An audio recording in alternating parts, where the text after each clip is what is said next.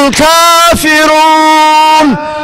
لا إله إلا الله ولا نعبد إلا إياه مخلصين له الدين ولو كره الكافرون الله أكبر kumanaan ka mid ah muslimiinta ku dhaqan caasimadda dowlad deegaanka soomaalida ee magaalada jigjiga iyo mas-uuliyiinta ugu sarreysa xukuumadda dowlad deegaanka soomaalida ugu horreeya madaxweynaha dowlad deegaanka soomaalida mustafa maxamed cumar ayaa salaadii ciidulfidrida ku oogay garoonka weyn ee magaalada jigjiga. Intaasi kadibna waxaa khudbad dhinacyo badan taabanaysa ka soo jeediyey madaxweynaha dowlad deegaanka soomaalida mustafa maxamed cumar. Madaxweyne mustafa maxamed cumar oo ugu horeyn ugu hambeliyeeyey dhammaan muslimiinta dunida gaar ahaan kuwa dowlad deegaanka soomaalida munaasabadan ciidal adxada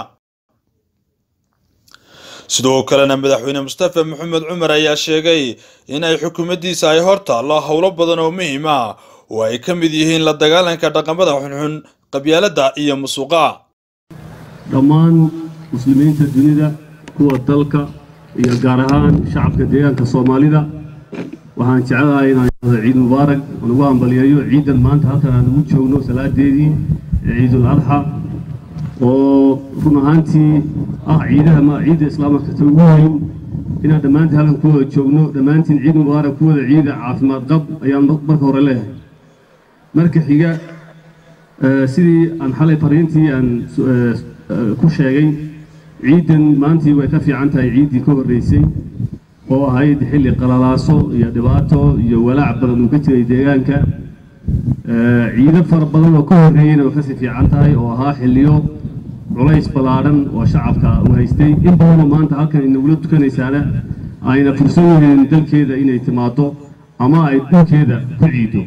Marka inagoo waxaasoo dhan eegayna marka hore inaan ilaahay u xamdino ku maaragtay wixii wanaagsan ee soo kordha maarata alxamdulilah inaan idhaahno wixii naga dhimanna aan si guud inaan gacanta isu qabsano sidii loo sixilaamado oo shaqayno yaa marka hore farayaa sidaad la socotaan muddadii sanadka ay hadda isbeddelku ka bilowday deegaankan wax fara badan baa dhinaca xorriyadda iyo dhinaca xuquuqaha insaanka iyo dhinaca dimuqraadiyadda iyo dhinaca maaragtay dhaqdhaqaaqa iyo afkaaraha qof kasta uu sheeganayo wax ka soo kordhay. Taasina waxay aasaas u tahay horumarka bulshada. Laakiin dhinaca horumarka dhinaca la dagaalanka waxyaalaha dhaqamada xunxun qabyaaladda musuqa weli hawl badan baa inoo taa muddadii sanadka ahayd hadda isbeddelku jiray.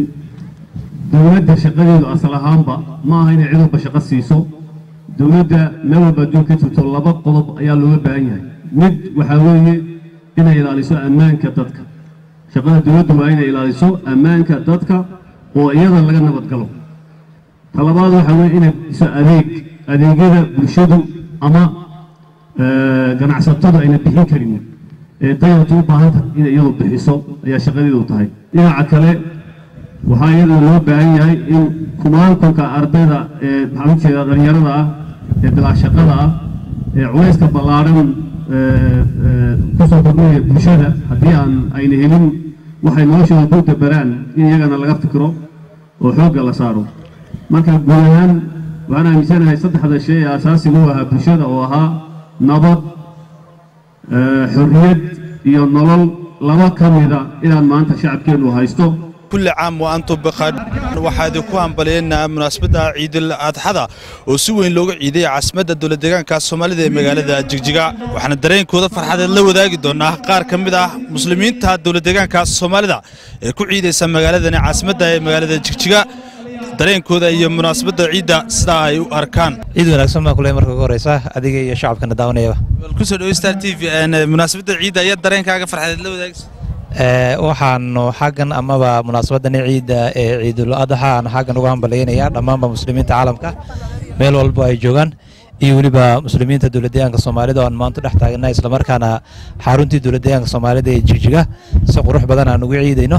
Marka dhammaan muslimiinta caalamka meel walbo ay joogaan waxaan leeyahay ciid wanaagsan ciid mubaarak ciid caafiya walaal dhammaan ummadda muslimiinta ah waxaan leeyahay farxadku ciida dhammaantiin. Dhammaan ummadda soomaaliyeed shacabka soomaaliyeed meel kastoo joogaan waan salaamayaa waxaan si gaara u salaamaya walaalaheenii een, xaruntii ummadda soomaaliyeed joogay muqdisho si gaara baan u salaamayaa waxaan leeyahay insha allah mar waan idinla ciidi doonaa si guud xaruntii ummadda soomaaliyeed inu ku wada ciidi doonaa haddii la yidhaahdo dhammaanba shanta soomaaliyeedna meel kastoo joogaan aad baan u salaamayaa. Meeqaam kasta iyo iyo iyo iyo miisaan kasta leeyihiin baan ku salaamaya haddii la yidhaahdo. Een, sacad cabaas adigana walaal aad baan kugu mahad celinayaa dhammaan warbaahinta star t v na aad baan u salaamayaa. Waan salaamayaa ummadda muslimiinta meel walbay joogaan. Dhammaan soomaalida meel walbay ku nool yihiin waan salaamayaa ciid wanaagsan. Bahda star t v waan salaamayaa. Aad waxaan u salaamayaa ururka saxafiyiinta dowlad deegaanka soomaalida. Walaal dhammaan waxaan u hambalyeynaya ummadda muslimiinta meel walba ay joogaan aad baan uga hambalyeynayaa dhammaan adduunka meel ay ka joogaanba. My faamilkayga dhammaan eheladayda inta muslim oo dhan waan u tahniyeedanaya sacad cabaas cali iyo cumar maxamed cali oo isku duubnidin leh. Ciid mubaarak